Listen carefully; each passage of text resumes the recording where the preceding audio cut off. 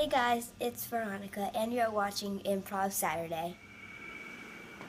You're broken down and tired of living life on the merry-go-round, and you can't find a fighter. But I see it in you, so we can walk it out. Ooh, mountain.